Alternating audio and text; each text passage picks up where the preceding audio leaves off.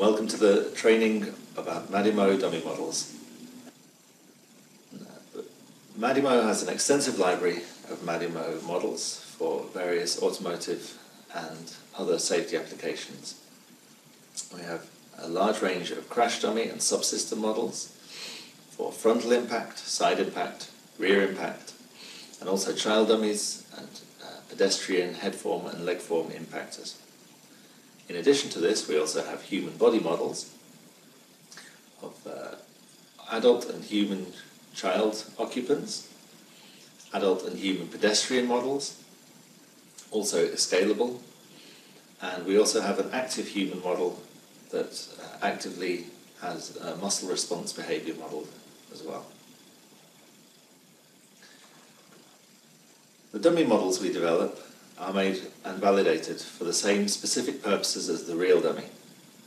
So our frontal dummy models are designed to simulate frontal crash test loading, uh, interaction with the dashboard, with the belts, with the airbags and the seat. Side dummies look more closely at lateral loading by side airbags and the car structure. Child dummies are designed to interact with child restraint system models and for out of position analyses. And the pedestrian subsystems are designed to optimally assess the impact behaviour with specific parts of the vehicle, the bonnet or hood, front bumper and the windscreen. MADYMO dummy models. We have uh, a full range of frontal dummy models, including the Hybrid 3 family and the new Thor model. We have the full range of side impact dummies used in the various protocols, and, and that includes the World WorldSID, the ES2, SID2S. We have a model of uh, the rear impact uh, dummy, the BioRID 2. We have that as a facet and ellipsoid model and a full range of child dummies for all the age ranges, both P and Q series, and the hybrid 3 children. In addition, we also offer scalable dummies that can be resized to any percentile. Here we see a complete list of all of the dummy occupant models and pedestrian models that we offer. The installation of MADYMO contains the full installation directory for all of the MADYMO models It can be found under Share, DBS, Dummies 3D, and the human models can be found under Share, DBS, Human 3D.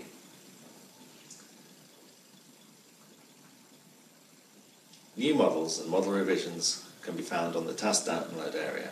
It's a protected download area which you can log into, and all new models and model versions and, where appropriate, new documentation can be found on the site.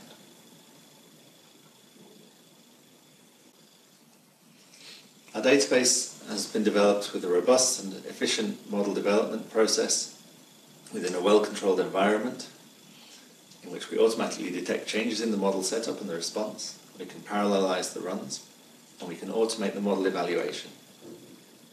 We get automate, automatic plots of all of the dummy signals against experimental data and previous dummy versions.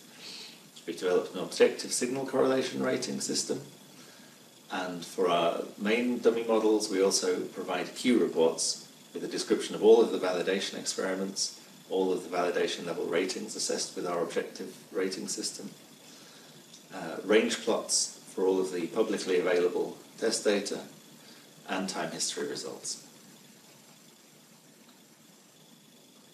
In MADYMO, we design dummies uh, as a chains of rigid bodies with mass and inertia properties. These bodies are joined by kinematic joints. These are joined by kinematic joints both physical dummy joints and also to allow us to model internal deformation. And these joints have restraint models applied that represent structural deformation stiffness, damping, and so on. The skin and contact surfaces are represented by either ellipsoids or facet surfaces. And the surface compliance is represented by its uh, standard contact penetration stiffness function, to which also damping and hysteresis can be applied. The dummy sensors are predefined in the model and correspond exactly to the location of the hardware sensors.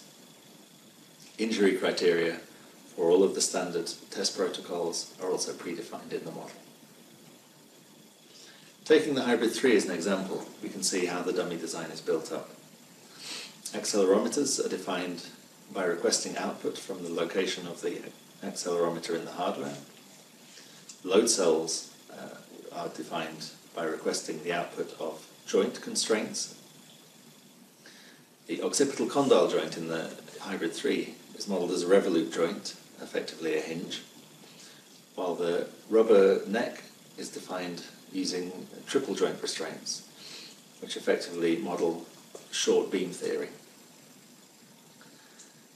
At the base of the neck is the neck bracket, and the lower neck load cell is also modelled by requesting the joint constraint output. The thorax is a complex model designed explicitly with deformable ribs connected to a sternum, and the thoracic spine box is one single rigid body. The lower torso is designed with a lumbar spine that mimics the neck's triple joint model system. There are, there are load cells at top and bottom of this, and the pelvis again is a single rigid mass. In the lower limbs, the femurs, tibias, upper and lower tibias are modelled with rigid bodies, and load cells and knee displacement sensors are applied as appropriate. Our objective signal correlation rating describes the model quality compared to reference signals, whether experimental references or previous model versions, using numerical values uh, automatically. The idea of this is to remove the subjectivity of assessing dummy model performance, and it provides a concrete uh, numerical comparison of how two signals compare. It's a systematic approach, and it also allows us to compare the effect of changes upon large validation sets. For some of the models, we have upwards of a thousand uh, tests with relevant signals, and we need to see very quickly what the effect of a small change can be on the correlation of those signals. For our main models, we present all of the data in quality reports. These list all of the experiments used for validation and also the correlation rated on peak level, peak timing, and general shape and trend criteria. In addition, there's a score for the overall model based on its correlation to the entire validation set. Each dummy is provided in the form of two input files. There's an include file and a user file. The include file contains all of the data of the complete dummy, the multi-body chain, the constraints, and the output requests. And the idea is that this does not need to be modified by the user. The user file contains the run ID, the control cards, and any user-definable characteristics such as joint initialization, positioning, and locking, and any additional output that may be required. Both files have the model name and version number provided in the product information element. The user file shows the control analysis time element in which the maximum integration time step for the dummy model is given. The Euler integration method is recommended.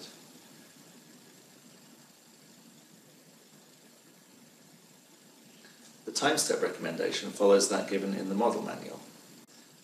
Thank you for your attention.